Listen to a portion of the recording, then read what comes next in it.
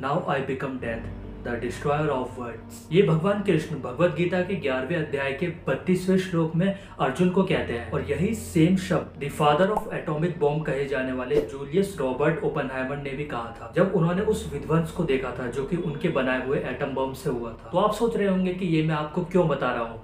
तो दरअसल famous director Christopher Nolan की एक मूवी आने वाली है, जिसका नाम है ओपन ये एक बायोग्राफिकल मूवी है। और इस मूवी को देखने से पहले आपका ये चीज़ जानना बहुत ज़रूरी है कि इस मूवी में है क्या और ये मूवी किस बारे में है। तो वीडियो को कोई पार्ट मिस ना करते हुए वीडियो को लास्ट तक ज़रूर देखना। तो चलिए देखते हैं। तो क्रिस्टोफर नोलन की ये मूवी ओपन बेस्ड है 2005 में आई एक बुक अमेरिकन प्रोमिथियस से। जिसमें जूलियस रॉबर्ट ओपनहाइमर के बारे में ही बताया गया है। Most talented actor Cillian Murphy इस मूवी में जे रॉबर्ट ओपनहाइमर का किरदार निभा रहे हैं और उनके साथ हम सबके प्यारे आयरन मैन, यानी कि रॉबर्ट डाउनी जूनियर भी इस मूवी में अपना किरदार निभाएँगे। ये मूवी काफ़ी खास मानी जा रही है क्योंकि वो इंसिडेंट भी काफ़ी खास था, जिसने पूरी दुनिया को बदल कर रख दिया था। और ये मूवी फुली आईएमएस कैमरे से शूट की गई है। और आप ये सुनकर चौक जाओगे की इस मूवी में सीजीआई का यूज़ नहीं किया गया। उसकी जगह जो बॉम्ब वाले सीन थे, उसमें असली बॉम्ब फोड़ गया है। ताकि वो सीन सबको रियल फील हो। लेकिन एटॉमिक बॉम्ब नहीं, वो छोटे मोटे जो बॉम्ब होते हैं, वो क्रिस्टोफर नोलन को ऐसे ही इतना बड़ा डायरेक्टर नहीं माना जाता। उनकी डेडिकेशन अलग लेवल की है। वो अपनी हर एक मूवी में सीन्स को ऐसे शूट करते हैं जिससे कि ऑडियंस उन्हें देखकर रियल फील करे, ना कि हमारी आदि पुरुष जैसी मूवी जिसमें एवेंजर एंड गेम से भी ज़्यादा वी का यूज़ किया गया था। लेकिन क्रिस्टोफर नोलन और टॉम क्रूज दो ऐसी अमेजिंग पर्सनैलिटी है जो की वी एफ़ का तो ज़्यादातर यूज़ ही नहीं करते।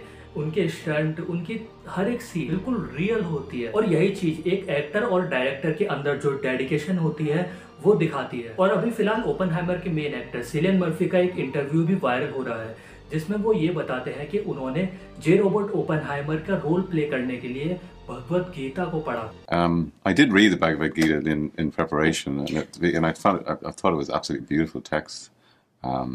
the. And I think it was it was a consolation to him. I think he, he kind of needed it, you know, um, and it provided a lot of consolation to him all his life, I believe. लेकिन Robert हाइमर की ज़िंदगी में भगवत गीता का इतना बड़ा role कैसे है? चलिए ये भी जान लेते हैं। तो साल 1933 में ओपन ने बर्कली में संस्कृत सीखी। उस दौरान उनके Sanskrit professor Arthur W Ryder ने रॉबर्ट को भगवत गीता पढ़ने की सलाह दी जिसके बाद वर्ल्ड वॉर टू के दौरान ओपन हाइमर को मैनहेटन प्रोग्राम के लिए एक बॉम्ब बनाने के लिए चुना गया। और उन्होंने कई मुश्किलों के बाद अपने दिमागी जंग से लड़ने के बाद एक ऐसा बॉम्ब बना ही लिया जो कि कई शहरों को खत्म करने की ताकत रखता था। और उसी के बाद उन्हें the father of atomic bomb कहा जाने लगा। बॉम्ब तो बन चुका था, लेकिन वक्त था इसके टेस्टिंग का। तो 16 जुलाई 1945 में न्यू मैक्सिको में दुनिया का पहला एटम बॉम्ब टेस्ट किया गया। और ये एक्सप्लोजन इतना बड़ा था कि इसमें 11 किलोमीटर ऊँचा यानी आठ बुर्ज खलीफा जितना लंबा मशरूम क्लाउड फॉर्म हुआ था, जिसमें इक्कीस किलो टन TNT जितनी एनर्जी रिलीज़ हुई थी। और इस दृश्य को देखकर रॉबर्ट ओपन ने भगवत गीता के ग्यारहवें अध्याय के बारहवें श्लोक का ज़िक्र किया था।